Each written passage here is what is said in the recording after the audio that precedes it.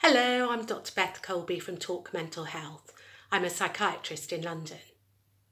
Today I'm going to outline the diagnostic criteria for dependent personality disorder using ICD 10 clinical descriptions and guidelines for mental and behavioural disorders.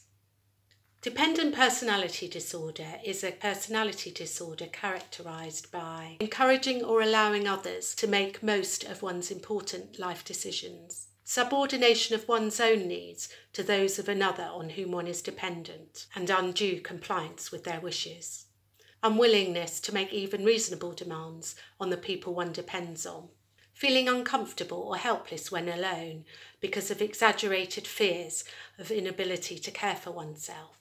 Preoccupation with fears of being abandoned by a person with whom one has a close relationship and of being left to care for oneself. Limited capacity to make everyday decisions without an excessive amount of advice and reassurance from others.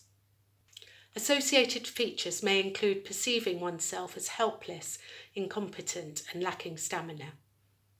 Dependent personality includes asthenic, inadequate, passive, and self defeating personality disorder. Thank you for listening. Bye for now.